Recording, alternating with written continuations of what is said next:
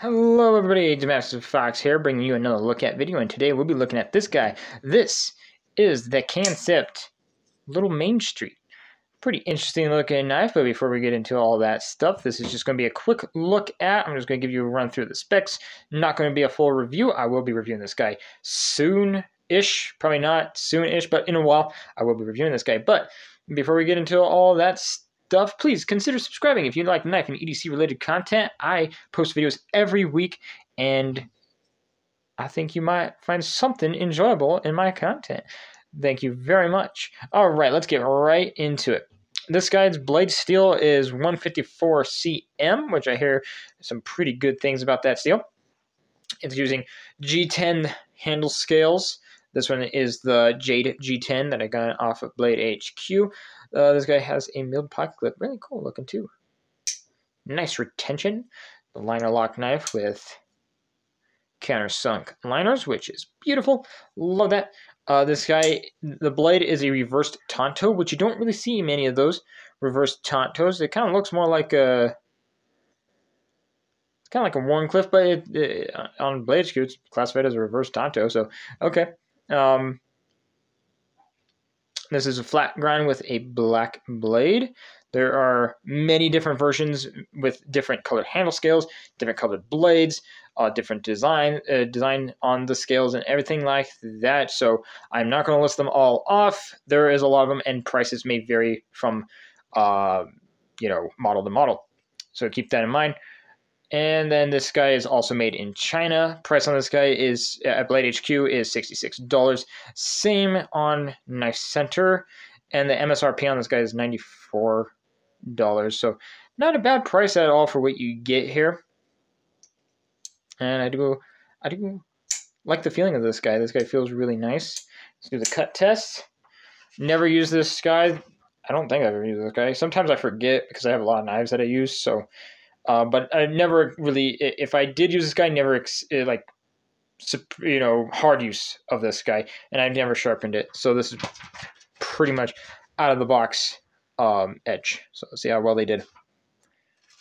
And not a good first start. Let's see if I do this better over here. So it is sharp. Yeah, so it is sharp. It will cut. Think it's it's I think it's might be my uh, edge alignment that was off. Yeah, okay, so the edge is a little bit less on the side, so you kind of want to go straight down a little bit more. The edge geometry is a little different on this guy than I'm used to, but it will cut. Definitely will. So that's pretty cool. I like that. And it has really uh, Really nice fit and finish so far. Really good. This is not a review, just giving you a quick look. You can uh, the action on this guy is really nice. You can do the reverse flick.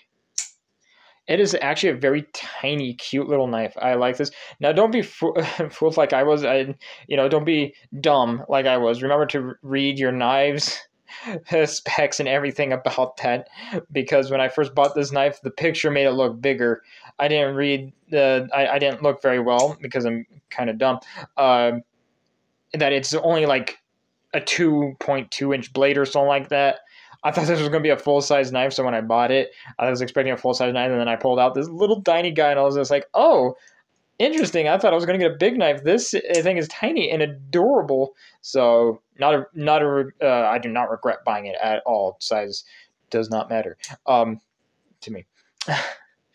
uh, but yeah, just you know, always pay attention to what you're buying. I've made uh, some mistakes buying the wrong thing, um, but I this is not a mistake at all. Glad I got this.